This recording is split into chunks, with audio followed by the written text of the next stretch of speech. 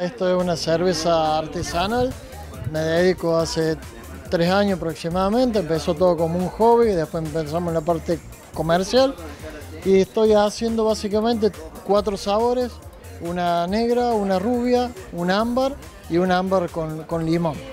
Tenemos una, sala de producción, nosotros estamos en Saldan, ahí cerquita de, Córdoba.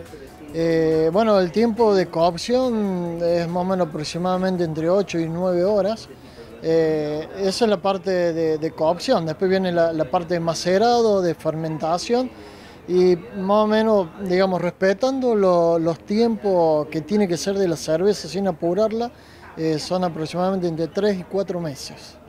Bueno, fue todo en principio como una inquietud. Eh, eh, no, nos gustó, siempre me gustó el tema de, sobre todo la parte de cerveza o productos, eh, digamos, que no tuvieran conservantes, que sean naturales. Entonces todo empezó por ahí, nos dedicamos a estos eh, de a poco, como te digo, empezó como un hobby y después ya entramos en la parte comercial.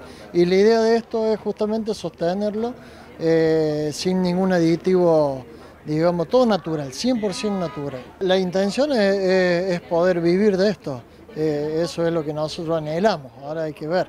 Eh, es un poco difícil meterse en el mercado, ya que somos muchos productores de cerveza. Lo que pasa es que dentro de, eso, eh, de ese conjunto de, cerveceros, bueno, hay quien están respetando las normas de calidad en lo que es natural y hay otros que no. Entonces lo que queremos es seguir conservando la parte natural y bueno, seguir por esa línea.